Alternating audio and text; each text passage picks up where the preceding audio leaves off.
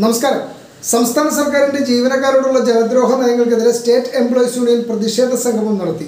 Perumbavoor civil സ്റ്റേഷന് മുന്നിൽ നടത്തിയ സമരം എസ് സി യു സംസ്ഥാന വൈസ് പ്രസിഡന്റ് റഷീദ് മുളവൂർ ഉദ്ഘാടനം ചെയ്തു.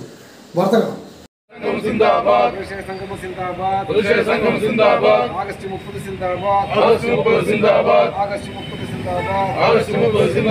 നെടുനാളത്തെ പോരാട്ടത്താൽ നെടുനാളത്തെ പോരാട്ടത്താൽ നേടിയെടുത്തോർ അവകാശങ്ങൾ അവകാശങ്ങൾ ആറ് ആറ് നിലനിൽക്കുന്നോരവകാശങ്ങൾ സംസ്ഥാനത്തിന്റെ ചരിത്രത്തിൽ ആദ്യമായിട്ടാണ് കിട്ടുന്ന ക്ഷാമബത്തേക്കാൾ കൂടുതൽ ശതമാനം കുടിശ്ശിക വന്നത് ഈ ചരിത്രത്തിൽ ആദ്യമാണ്. തൊഴിലാളി വർഗ ഗവൺമെന്റ് ഭരിക്കുന്ന കാലഘട്ടത്താണ് അങ്ങനെ സംഭവിച്ചിരിക്കുന്നത്. പതിനൊന്ന് ശതമാനത്തോളം ഡി എ കുടിശ്ശികയാണ്. ആ ഡി എ കുടിശ്ശികയായ ഡി എ ബഹുമാനപ്പെട്ട ധനകാര്യ വകുപ്പ് മന്ത്രിയെ നിയമസഭയിൽ അത് ചോദിച്ചപ്പോൾ അദ്ദേഹം അതിന്റെ കാൽക്കുലേഷൻ പോലും പറയാൻ തയ്യാറായില്ല എന്നുള്ളതാണ്. അത്രയ്ക്ക് ഭീകരമായ രീതിയിലാണ് ജീവനക്കാരോട് അവഗണന തുടർന്നത്. മെഡിസപ്പ് എന്ന സമ്പ്രദായം ഇരുന്നൂറ്റി അൻപതോളം കോടി രൂപയാണ് ഒരു വർഷം ഗവൺമെന്റ് സംസ്ഥാന ഗവൺമെന്റ് ജീവനക്കാർക്ക്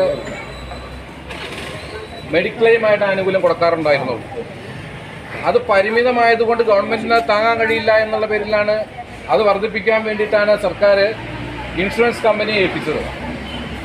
അത്രയും ചെറിയ തുക ജീവനക്കാർക്ക് മെഡിക്ലെയിം ആനുകൂല്യമായിട്ട് സർക്കാർ നൽകിക്കൊണ്ടിരുന്ന അതേ സർക്കാർ ജീവനക്കാരുടെ വിഹിതവും സംസ്ഥാന സർക്കാരിന്റെ വിഹിതവും അടച്ചുകൊണ്ട് കൂടുതൽ കാര്യക്ഷമമായ രീതിയിലും ജീവനക്കാർ കൂടുതൽ ആശ്വാസം നൽകുന്ന രീതിയിലും ഒരു മെഡിക്കൽ പദ്ധതി ആവിഷ്കരിക്കുമെന്ന മുദ്രാവാക്യവുമായിട്ടാണ് സർക്കാർ മുന്നോട്ട് പോയത്. പക്ഷേ അത് ആവിഷ്കരിച്ചെല്ലാം വന്നപ്പോൾ ജീവനക്കാരന്റെ ശമ്പളത്തിൽ നിന്നും കട്ട് ചെയ്തുകൊണ്ട് ഏകദേശം അറുപത് കോടി രൂപയോളമാണ് ഒരു മാസം ഇൻഷുറൻസ് കമ്പനിക്ക് സർക്കാർ കൊടുക്കുന്നത്. സർക്കാരിന്റെ ഭാഗത്തുനിന്നും പത്ത് പൈസയും ജീവനക്കാർ കൊടുത്തിട്ടില്ല.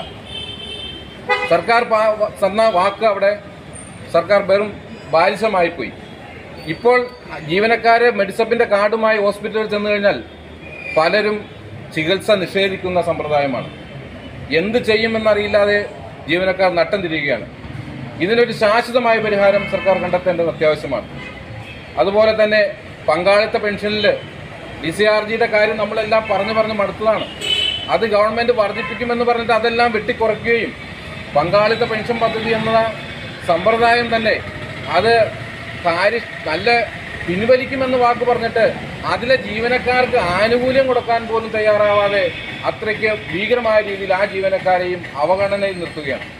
കൂടുതൽ വാർത്തകളും വിശേഷങ്ങളുമായി വീണ്ടും കാണാം. Harish Purushothaman life Kochi reporter Perumbavoor.